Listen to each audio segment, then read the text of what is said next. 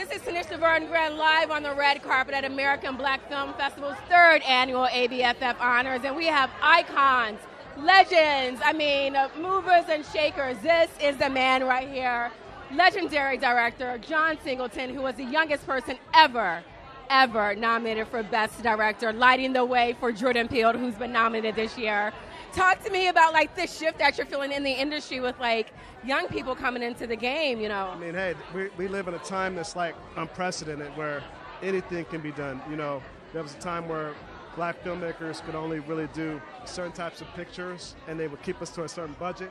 Now we're doing like big budget, blackity black movies, and it's like it's, it's lovely, you know. Black, blackety black. Blackety black movies. blackity black movies. Not halfway black, not a little bit of cream in the coffee. Real black epic movies, and that's well, it doesn't get any more black than Snowfall, which you're behind. Season two, yes. we're in, yes. and Snowfall's been nominated tonight for Best New Television Series. Yes. So I mean, this is just moving fast.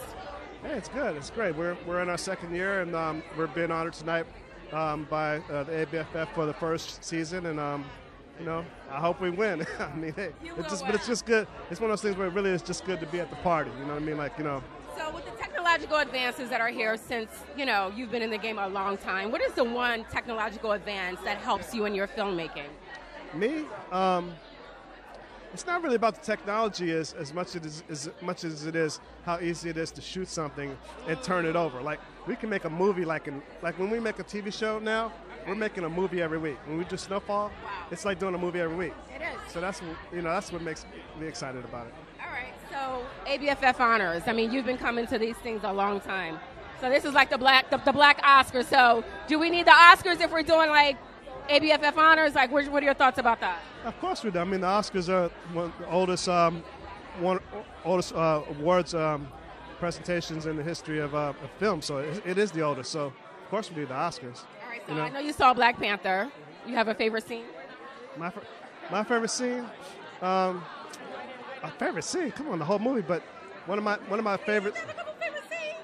That's, you just got me off guard. My, one of my favorite scenes. One of my, one of my favorite scenes is really an emotional scene between uh, T'Challa and his father in, in that netherworld scene where he's like telling him, you know, about leaving the boy, leaving the boy, because there's a lot of different connotations to that. You know, in terms of like, you know, leaving, you know, what Eric Killmonger, the kind of person he became. You know what I mean? In terms of like, um, us being separated from Africa and, and, Africans across the diaspora and the dysfunctionality of black people. You know what I mean? So that whole thing and how he was pained because he really was like, you know, he is my brother. And now he's going to have to fight his brother. You know what I mean? Amazing, yeah. You know, so there's a lot of stuff in that movie that works at another level that people don't really understand. Well, thank you so much. I appreciate your intel.